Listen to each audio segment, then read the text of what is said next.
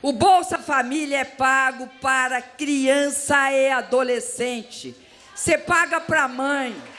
Mas o objetivo do Bolsa Família são as crianças desse país que são o futuro.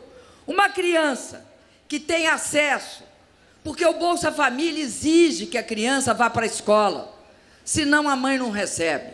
Exige que a criança seja vacinada, senão a mãe não recebe.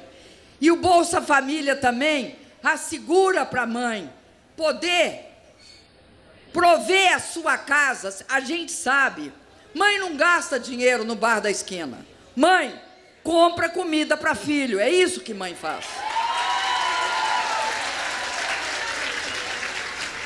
Bom, então, gente, o que eu estou dizendo é que está em curso um golpe contra a democracia e um golpe contra o que nós acertamos. Não é contra os, o que nós erramos, não. É contra os nossos acertos.